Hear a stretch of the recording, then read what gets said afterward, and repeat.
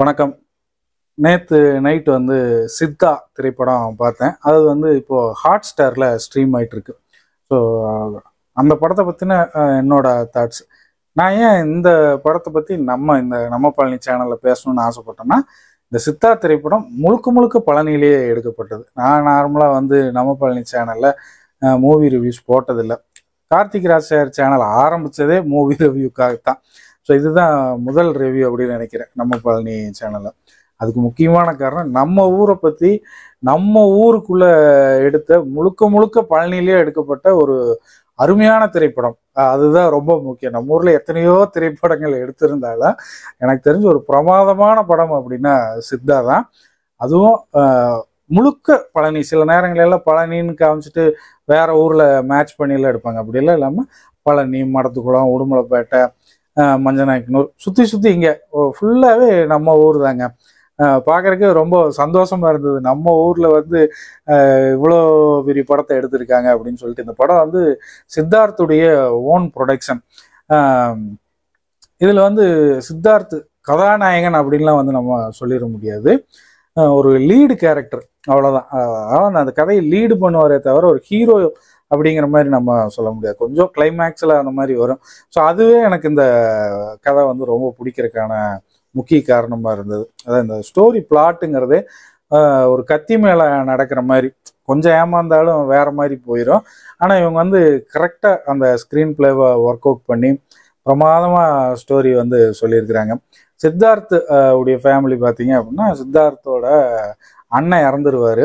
So அண்ணன் wife அண்ணன் பொண்ணு பொண்ணுக்கு வந்து ஒரு எட்டு ஒம்பது வயசு இருக்கும். ஸோ அவ்வளோதான் ஃபேமிலி அதாவது சித்தார்த்து இறந்து அவர் அவரோட இறந்து போன அண்ணனுடைய ஒய்ஃபு அவங்க அண்ணன் பொண்ணு இவங்க மூணு பேர் தான் ஒரு சின்ன வீட்டில் பழனிக்குள்ளே ஒரு இடத்துல இருக்காங்க.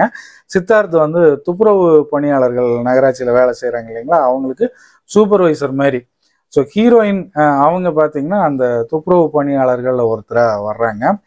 அதாவது சைல்டு அப்யூஸை பற்றி இந்த படம் வந்து முழுக்க முழுக்க பேசுது. ஃபஸ்ட்டு அரை மணி நேரம் எதை பற்றி பேச போகிறாங்க அப்படின்னு தெரியாமல் இருந்தாலும் ஆஃப் அன் ஹவருக்கு அப்புறம் அப்படியே சூடு பிடிச்சி போய் முழுக்க முழுக்க குழந்தைகளுடைய குழந்தை பாலியல் பிரச்சனையை பற்றி பேசுகிறாங்க அது எப்படின்னா சித்தார்த் வீட்டில் இருக்கிற அந்த அண்ணனுடைய பொண்ணு. ஸோ அவங்களும் வந்து அந்த சைல்டு அப்யூஸ் பாதிக்கப்படுறாங்க. அந்த பொண்ணுடைய ஃப்ரெண்டு ஸ்கூலில் படிக்கிற இன்னொரு ஃப்ரெண்டு அவங்க ஏரியாவில் இருக்கவங்க சித்தார்த்துடைய ஃபேமிலி ஃப்ரெண்டு அந்த மாதிரி. ஸோ அந்த பொண்ணுக்கும் அதே மாதிரி ஒரு பிரச்சனை நடக்குது. அதாவது வந்து குழந்தை பாலியல் பிரச்சனை. ஸோ அது சம்மந்தமாகவே தான் போகுது. இதை எப்படி இந்த குடும்பங்கள் எதிர்கொள்ளுது? நான் நார்மலாக சந்தோஷமாக போயிட்டு இருக்க அந்த இயல்பு வாழ்க்கைங்கிறது ஒரு நொடியில் அப்படி வந்து புரட்டி போட்ட மாதிரி மாறும் இல்லையா? அதை எப்படி அவங்கெல்லாம் எதிர்கொள்கிறாங்க இந்த மாதிரி பாலியல் பிரச்சனைகள் குழந்தைகளை எந்த அளவுக்கு பாதிக்குது மனதளவில் அப்படிங்கிறத அந்த சின்ன பொண்ணுங்க ரெண்டு பேரும் பிரமாதமாக நடிச்சிருப்பாங்க. அதே மாதிரி இதை இது எப்படிலாம் இதை வந்து நம்ம ஃபேஸ் பண்ணுறது இதுக்கு என்ன சொல்யூஷன் இது என்ன பண்ணால் நமக்கு ஆர்வம் ஒரு ஆற்றாமை அப்படிங்கிறதெல்லாம் வந்து சித்தார்த்து மிக அற்புதமான நடிப்பில் வெளிக்காட்டியிருந்தார். எனக்கு தெரிஞ்சு சித்தார்த்துடைய cinema கெரியர்லேயே one of the best performance அப்படிங்கிறது இந்த படம் தான் சித்தா படம் தான் அதே மாதிரி ஹீரோயினுடைய பெர்ஃபார்மன்ஸும் ஆப்டாகவே இருந்ததுங்க. முழுக்க முழுக்க பழனி மாநகராட்சி ஆஃபீஸு கிரிவீதி பக்கத்தில் Kodaikanal road bus stand railway station ஏகப்பட்ட லொக்கேஷன் அது போக பழனியில் இருக்கிற நிறைய மக்களுமே வந்து இதில் நடிச்சிருக்காங்க. சின்ன சின்ன கேரக்டர் அப்படியே பாசிங் கேரக்டர்ஸாக நிறைய பக்கம் ஆடிஷன்ஸ் எல்லாம் வச்சு எடுத்திருக்காங்க. நம்ம பழனியிலே சுற்றி சுற்றி எடுக்கப்பட்ட ஒரு அருமையான திரைப்படம் சித்தா.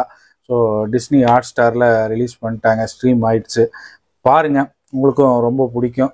இன்றைக்கி சமூகத்துக்கு தேவைப்படக்கூடிய ஒரு மெசேஜ் முக்கியமாக பெண் குழந்தைகளுக்கு நாம் வந்து எச்சரிக்கையாக இருக்கும்படி சொல்லித்தரக்கூடிய சில செய்திகளையும் இதில் வந்து சொல்லியிருக்கிறாங்க. அப்படியே கதையோட்டத்திலேயே வந்திருக்கு. ஒரு சீரியஸான சப்ஜெக்ட் தான். கொஞ்சம் ஒரு ஒரு முக்கால் மணி நேரம் ஒரு மணி நேரத்துக்கு அப்படியே ஒரு மலையாள படம் பார்க்குற ஒரு எஃபெக்டில் இருக்குது அதுக்கப்புறம் அப்படியே தமிழ் படமாட்ட ட்ராவல் ஆகும். உங்களுக்கு ஒரு ஒரு முக்கால் மணி நேரத்துல எல்லாம் அப்படியே ஒரு பதவதைப்பு வந்து தொத்திக்கிங்க. அப்படியே ட்ராவல் பண்ணி கடைசி வரைக்கும் கொண்டு வந்திருக்காங்க. கிளைமேக்ஸ் அப்படியே ஒரு ஓப்பன் எண்டடாக விட்ட மாதிரி இருந்தது எனக்கு. இன்னும் அதாவது வந்து இந்த ரிவெஞ்ச் மாதிரி போயிட்டு கொஞ்சம் ஒரு ட்ரமாட்டிக்கலாக ஒரு கிளைமேக்ஸ் வந்து முடித்த மாதிரி இருந்தது. அப்படியே தொங்கிட்டு இருக்க மாதிரி தான் இருந்தது. ஒரு கம்ப்ளீட்டாக இல்லை. அது ஒன்று தான் எனக்கு நெருடலாக இருந்தது. அதுக்கப்புறம் பார்த்தீங்க அப்படின்னா இந்த படத்தில் வரக்கூடிய மூணு முக்கியமான கதாபாத்திரங்கள் ஹீரோயின் அப்புறம் அந்த சி சித்தார்த்து குடும்பத்தில் இருக்க அந்த ஒரு எட்டு வயசு குழந்தை அந்த பொண்ணுடைய ஸ்கூல்மேட் ஃப்ரெண்டு ஸோ இந்த மூணு ஃபீமேல் கேரக்டருமே லீடு கேரக்டர் தான் இந்த படத்தில். ஆனால் இவங்க மூணு பேருமே ரேப் விக்டிம் அப்படிங்கிறத காட்டுறாங்க. ஸோ அது ஒரு மாதிரி ரிப்பிட்டேட்டிவாக இருக்க மாதிரி ஒரு ஃபீல் ஆச்சு. அதுலேயும் முக்கியமாக அந்த பெண் குழந்தைகளுக்கு நடந்ததெல்லாம் ரொம்ப நமக்கு ஒரு மாதிரியாக எப்படி சொல்கிறதுன்னா அப்படியே உள்ளுக்குள்ளே ஏதோ கிணத்துக்குள்ளே கல்லை போட்டால் எப்படி இருக்கும்? அந்த மாதிரி நம்மளுக்குள்ள ஒரு ஃபீலிங் இருக்கும். அப்படியே கும்முன்னு இருக்கும். அப்படி இருக்கும் அந்த மாதிரி சீன்ஸ் எல்லாம் பார்க்கல அதே மாதிரி அந்த குழந்தைய கடத்தி கொண்டு வச்சிருக்கிற அந்த காட்சியெல்லாம் பார்க்கல ஒரு மாதிரி இருக்கும். அது அந்த குழந்தைகளை வளர்த்துறவங்களுக்கு அந்த ஃபீலிங் வந்து தெரியும். அப்புறம் பார்த்தீங்கன்னா அந்த ஹீரோயின் கேரக்டரும் கடைசியில் வந்து நானும் ஒரு ரேப் விக்டிம் தான் அப்படின்னு ஒரு அவங்க ஒரு வாக்குமூலமாட்ட கொடுக்குறப்போ கொஞ்சம் ஒரு இதாக இருந்தது. என்னங்கடா எல்லாருமே இப்படியே இருக்காங்க அப்படிங்கிற மாதிரி இருந்ததே தவிர ஓவராலாக இந்த படம் வந்து எனக்கு ரொம்ப பர்சனலாக பிடிச்ச படம். ரொம்ப அருமையாக ஸ்க்ரீன் ப்ளே பண்ணியிருக்காங்க. இது சின்ன சின்ன குறைகள் எல்லாத்துலேயும் இருக்கிறது தான். இது எல்லாத்தையும் தாண்டி பார்க்க வேண்டிய ஒரு படங்க. இன்னைக்கு சமூகத்துக்கு சொல்லப்படக்கூடிய ஒரு முக்கியமான விஷயத்த சொல்லியிருக்கிறாங்க. எல்லாத்தையும் விட நான் முதல்ல சொன்ன மாதிரி நம்ம பழனிக்குள்ளே வளைச்சு வளைச்சு ஷூட் பண்ணி எடுத்திருக்க ஒரு படம். அதுக்காகவே நீங்களாம் வந்து பார்க்கணும். ஸோ இதே மாதிரி வேறு ஏதாவது முக்கியமான திரைப்ப திரைப்படங்களை பற்றி நான் வந்து இன்னொரு வீடியோவில் சந்தர்ப்பம் கிடைக்கும்போது பேசுகிறேன் அதுவரை உங்களிடம் இருந்து விடைபெறுவது கார்த்திக். நன்றி. வணக்கம்.